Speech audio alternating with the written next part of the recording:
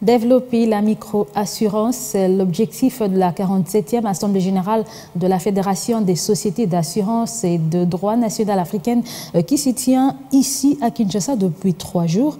Il est donc question pour les acteurs œuvrant dans les secteurs des assurances de réfléchir euh, sur comment exploiter ces potentiels de croissance pour une prospérité euh, partagée.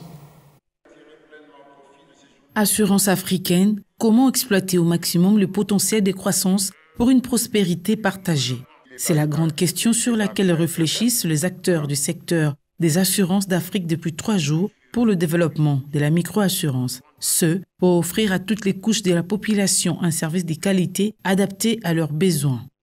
C'est résolument en réinventant l'assurance, notamment en lui donnant un visage de produits de consommation courante, par l'amélioration du taux de couverture dans la population que nous prendrons toute la place qui nous il s'agira ici de poursuivre nos réflexions sur les voies et moyens pour un réel développement de la microassurance en ouvrant de nouvelles perspectives, sachant qu'il y a un gros potentiel d'expansion et de croissance existe. Ce taux de pénétration recherché, bien qu'en progression RDC, cache un retard qu'il faudra combler à travers le respect des réglementations à tous les niveaux. Depuis l'entrée sur le marché de nouveaux opérateurs, chiffre d'affaires du pays est passé de 70 millions de dollars américains en 2018 à plus de 268 millions de dollars en 2022.